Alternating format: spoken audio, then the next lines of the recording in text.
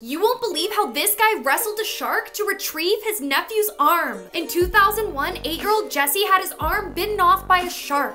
His uncle dived in to save him and gave him CPR until paramedics arrived. But his uncle then sprinted back right into the water, grabbed the shark, and dragged it onto the land. He pried the shark's jaws open and grabbed his nephew's arm. They put the arm on ice and rushed Jesse to the hospital. Luckily, they got there in time and reattached his arm.